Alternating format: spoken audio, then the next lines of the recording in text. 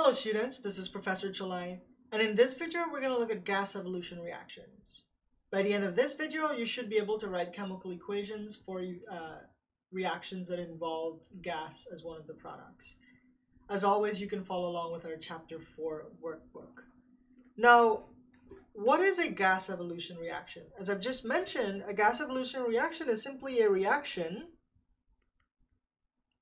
that produces a gaseous product. And so if you're thinking of doing this reaction in uh, involving sort of aqueous solutions, right, you have your little beaker with your solutions and you have your reaction. If one of the product is a gas, typically what you will see in your reaction are bubbles forming as the gases sort of uh, form and evolve and sort of bubble out of the solution. So if you have a reaction where you see bubbles forming, typically this is a sign that you've just produced a gas. Now, there are a few gas uh, gases in reactions that I want us to pay attention to, and they're given here in this sort of table. So what this table is showing us is the different kinds of gases that we have, and oftentimes they're pretty, uh, they're, they're formed from some sort of intermediate. And so I want us to focus on the, these intermediates. If, for example, you see H2CO3 formed as a product in one of these reactions, note that H2CO3 can break down to form water and carbon dioxide gas, and so the bubble that, bubbles that you see will be of carbon dioxide gas.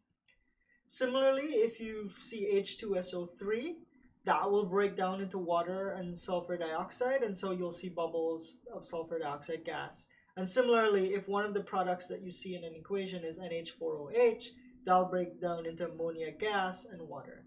And so this sort of table gives us the various different gases that will happen in a reaction. H2S is simply a gas. Um, it doesn't have to break down from anything, but it forms when acid reacts with sulfide ions. Okay, so let's look at some examples of gas evolution reactions and let's write the balanced equations for those reactions. I'll, I'll do A as an example, and you can do the others. Okay, so in this reaction, we have HNO aqueous plus Na2SO3 aqueous uh, in a reaction.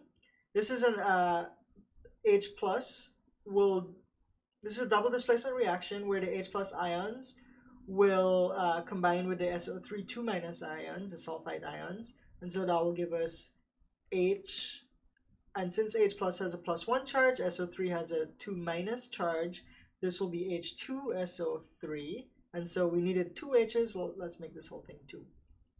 We have an Na plus and an NO minus, uh, so that'll give us NaNO, but there are two NAs, so let's make that whole thing 2, and so this whole thing's balanced. If we look at our periodic uh, solubility charts, we know that everything with sodium should be aqueous. But this H2SO3, while we might be tempted to put an aqueous over there, we recognize from this chart is one of those compounds, if you form it as a product, will break down to form sulfur dioxide gas and water.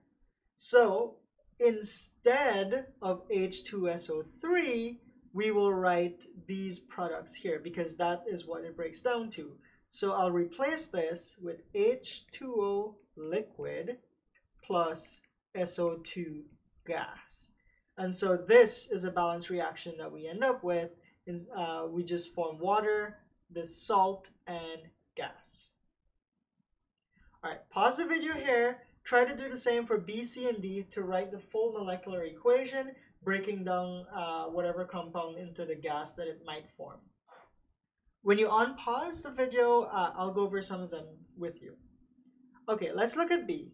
In B, we have HCl, aqueous, plus KHCO3, aqueous, to form our products. Here, the H plus will react with the HCO3, so that's the bicarbonate ion, to form H2CO3 aqueous, plus the Cl minus and the K plus will react to form KCl aqueous.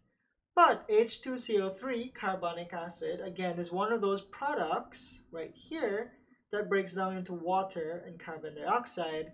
So instead of H2CO, H2CO3, I'll replace this with water, liquid, and carbon dioxide gas.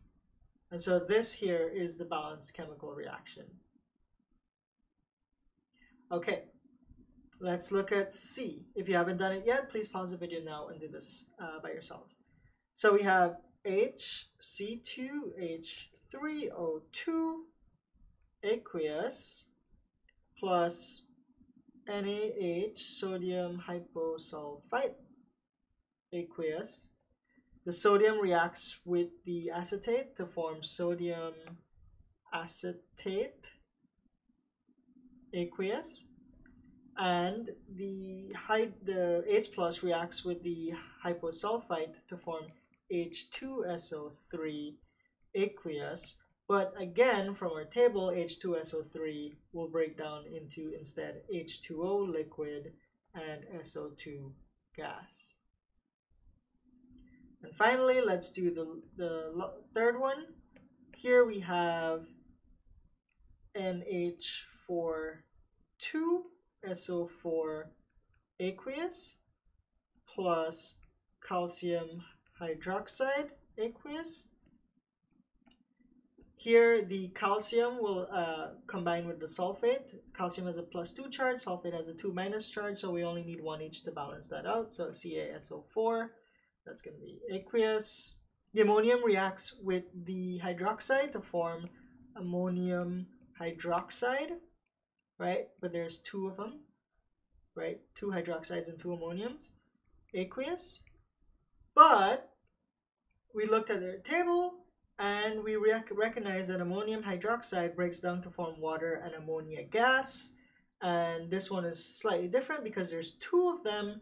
So we'll form we'll form two waters, liquid, and two uh, ammonia gas, two molecule, moles of ammonia gas. There we go. So that will keep it balanced by you maintaining the two in each of those. So those are some gas evolution reactions. I just wanted you to pay attention to them. They're formed whenever you see these compounds in your products. Know that they will break down into water and the appropriate gas. So make sure that you break them down in your equations as well. And the reason we do that is so that um, when we look at our equations, we know that, oh, there's a gas right there. So when we're uh, performing this experiment, we should expect to see some sort of bubbles or some, uh, some indication that a gas is being formed. All right, so that brings us to the end of our different types of uh, reactions that we went over. We went over precipitation reaction that forms solid precipitates. We went over acid-base reactions that form salt and water. We went over oxidation reduction reactions where electrons move from one uh, species to another. And we looked now at gas evolution reactions where one of the products that we form is a gas. I will see you in our next video when we talk about reaction stoichiometry. I'll see you then.